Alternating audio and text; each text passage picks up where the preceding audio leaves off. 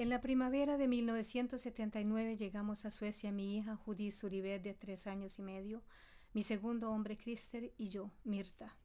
Christer y yo nos conocimos en Colombia en el año 1977. Me vine para Suecia convencida por mi esposo de que aquí era más fácil estudiar, mi mayor deseo en ese entonces. En 1982 nace mi segunda hija, Sara Juanita.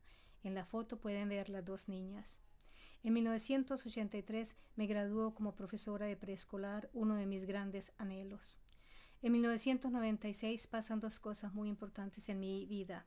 Mi hija Judith Uribe se gradúa y su abuelita, mi madre, vino a Suecia por primera vez. En el 2004 cumplo 50 años y ese mismo año me divorcio. En el 2006 nace mi primera nietecita, Antonia, y en el 2011 nace mi segundo nietecito, Rafael.